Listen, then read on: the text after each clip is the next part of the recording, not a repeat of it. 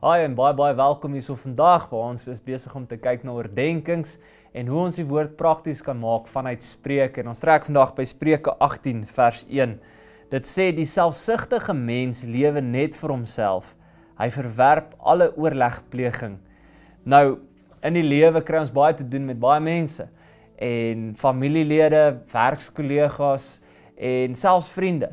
En baie keer dit is maar menslik waar jy seer kry in verhoudings en waar mense dalk jou vertroue breek ensovoorts.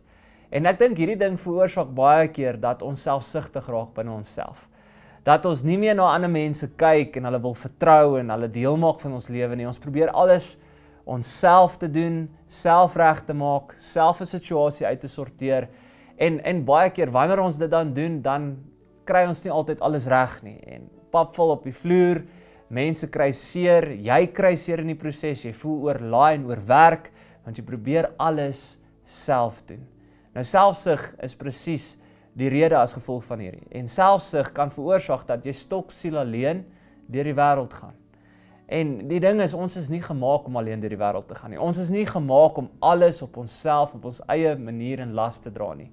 God het gekom en gesê: "Gee jou laste vir my en dan natuurlik ook deel jou lewe met ander mense."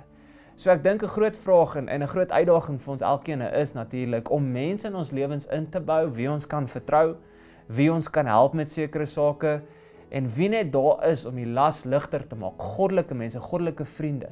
Nou ek weet dit is nie so eenvoudig soos wat ons dit sê nie, maar as 'n moet in ons lewe, want ons kan nie alles op onsself doen nie.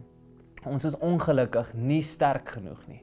En dalk terwyl jy hierso sit vandag en na hierdie hierdie boodskap luister, dalk is jy besig om al vir jare of vir maande alles self te probeer doen? Wil jy nie vandag dalk die besluit neem om dit eerstens vir God te gee en dan ook vir God te vra? Here, help my dat ek mense in my lewe kan inbou wat die las van hierdie lewe vir my kan help dra en dat hulle dit vir my makliker kan maak dat ek beter deur die lewe kan gaan en nie alles self hoef te dra om myself uit te brand nie. Kom ons bid ook hierdie nou saam vandag.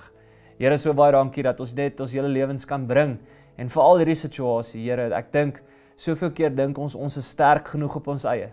Ons kan alles self uitsorteer, elke probleem, elke situasie, ons kan dit self doen. Maar Here, hierdie selfsugtigheid maak dit soms vir ons moeilik. Die lewe raak hard, die las raak hard, dit raak soms te veel vir ons om te dra. Daarom bid ek, Here, dat ons eerstens vandag sal kom en ons laste van ons lewens sal bring vir U en sal dit vir U gee. Maar Here, dan bid ons ook vir vir vriende, vir mense wat ons kan omring om hierdie net te help mee, Here want ons is nie gemaak om alleen te wees nie. Here, U het ons juis gemaak met vernote, met vriende, met mense om ons dat ons kan saamlewe met verhoudings met hulle. Here, ek bid vir elkeen dat hulle hierdie mense in hulle lewe sal inbou en dat U hulle vir hulle sal wys.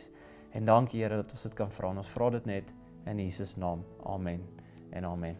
So baie dankie dat jy hierso was vandag. Maak seker jy skakel weer môre in vir ons volgende oordeenking. Tot dan, lekker dag, goed gaan.